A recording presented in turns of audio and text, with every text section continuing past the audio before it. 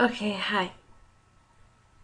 So I've been getting a lot of questions and on how to make the frame for this picture. Really, it's not that hard, but you do need to download quite a few uh, a few things, not quite a few, just a few um, things from DeviantArt. And also, if you do not know how to download um, brushes, etc., from A to get them to GIMP, i.e., B, um, I will also include in the description a link to a video that shows you how to do that.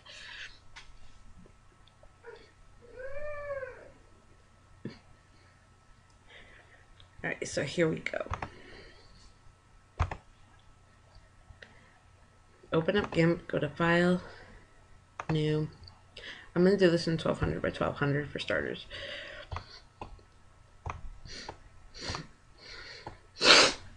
Sorry, I have a cold. Um, you want your background to be white, so make sure your background color is white. Now go to Layer, New Layer. Make sure it's set to transparency. I forgot to. I'm sorry. Um, make sure you're working on your top layer. Make sure it's highlighted. Go to your brush. Find the brush that says GIMP brush number 62.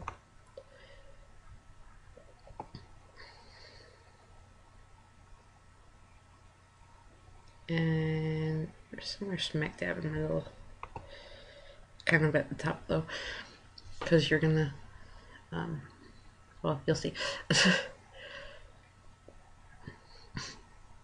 and go to layer, duplicate layer,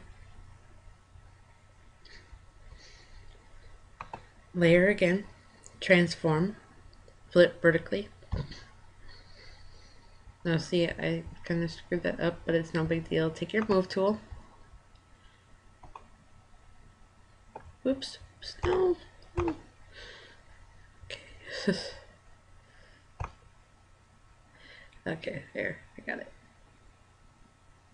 And they totally, there we go. Get it lined up. Make sure it's lined up. Okay. All good. Yay. Okay, go to layer, go to your layer panel. Right click on the top one, click merge down again, right click, merge down, and right click on that, layer to image size. Okay. Now go over here to your toolbox, go to your fuzzy select tool, click on the center, and edit, cut, and then out here, same thing, but when you click down, make sure you hold the click and drag upwards. There. Because if you don't do that then it'll take like big chunks out of the frame like here and here and here and here. You get the point. It'll be all really icky looking. Um and then just cut that out. Select none. Go to layer duplicate layer now you're going to go over to your layer panel and hide that top layer Make sure your bottom layer is highlighted. Now go to colors, colorize.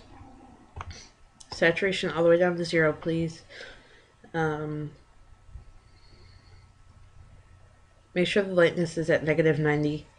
That's where I like to put it. It ends up looking better.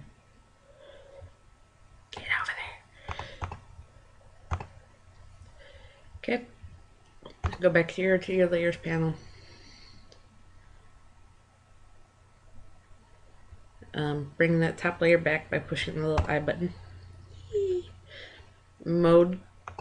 Go up here to mode. Up here. Hello. Okay. Go down to overlay. Click that. And that kind of makes it look a little bit better, um, more detailed. If you don't believe me, you could like click hide on that top layer again and do, do, do, do. Okay. Sorry. It's 2 o'clock in the morning here. Give me a break. Um, yeah, just right click on the top layer and click oh merge down.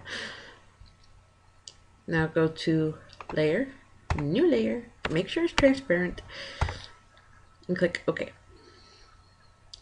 Okay, now you go to your brush tool.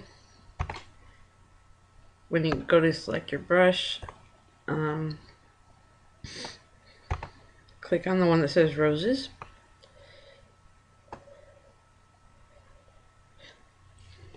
You pick a size that you like, that you think looks good, and you know, all that fun stuff. And then just click on the frame and make it look like it's wrapped around there. Kind of cool. Um, I really love these brushes. Um, big old props for the creator. And there you go. Um, you can add that whole reflective kind of glassy look to it. Um, really simple. By going to layer, new layer. Make sure it's transparent. Bring that down by clicking this little green thing over on your panels or layer panel. Click it twice so it's down below the other two images. Click your rectangle select tool.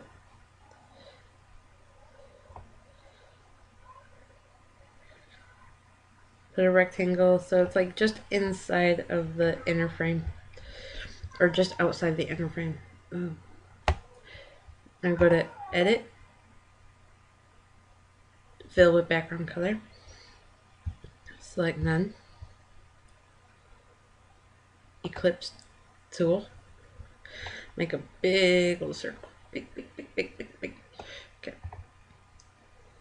What I like to do is drag the circle like so it's like halfway over. Make sure whole bottom part here is um you know within the circle. I like to make sure there's like what I do is personally I just make sure there's like a fingers width space up here.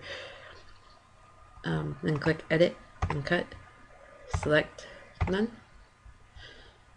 And then make sure that bottom layer is highlighted.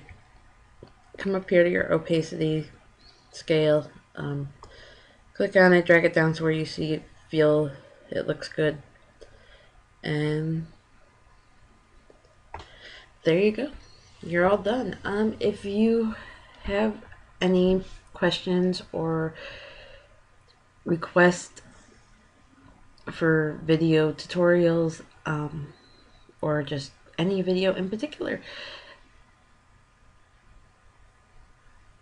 please do so by sending me a message and feel free to leave a comment below. And don't forget to subscribe. Thanks.